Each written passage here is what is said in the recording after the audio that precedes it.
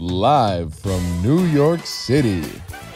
It's High Priority NYC with your host, JP Coolin and Rod Grimm.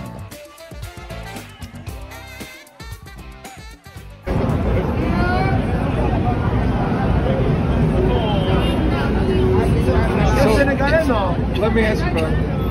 What is your favorite place on earth to smoke weed? California.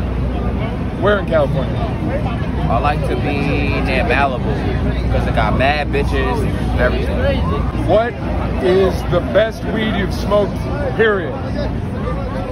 OG Tyson. That shit'll knock you out. I was working at Fashion Nova out there. I went to work. I was in the bathroom for like two hours and somebody had to come get me. You, you smoked a, a joint or a blunt of it? On break, yeah. And then when I went to go to the bathroom to take a shit, I was still on the toilet. Like I was in there from two to like four. My homeboy came to get me. Tyson, OG Tyson. OG Tyson. Hell yeah. Well, I appreciate your time, brother, and thank you. Uh, next time it'll hit better.